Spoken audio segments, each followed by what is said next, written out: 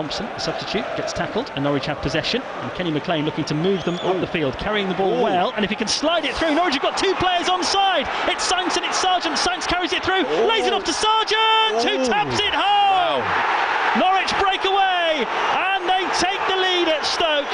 Two players there beat the offside trap, and they were both bearing down on goal. Sainz kept his composure, laid it off to Sargent, arguably sent him a little bit wide, and Sargent lost his footing, but he still managed to steer it into the net, and it's Stoke nil, Norwich City one. Norwich are in front, and the ball now played brilliantly by McLean to Sainz again. He's released him on the left-hand side. Norwich are all over Stoke here. Sainz into the penalty area, falls for Sara! Oh My Clinical! Norwich go 2 0. They are all over Stoke at the moment. Two goals in the space of, what, three minutes, and they've missed a good chance in between them as well. Celebrations on the side of the pitch for David Wagner and his coaching staff.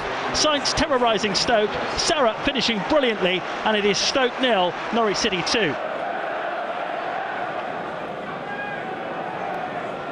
It's played into the penalty area, the corner. It's come up in the air for Stoke defender. Sargent trying to get underneath it. Oh, there's a chance here for McLean. Blocked, but oh. turned in now. Norwich have a third. And it was Barnes who was there, sniffing in the six yard box. McLean got power behind his shot. It was charged down in the six yard box, but it fell to Barnes. He steers it in. And with an hour played, Norwich City have a third. It is Stoke nil, Norwich 3.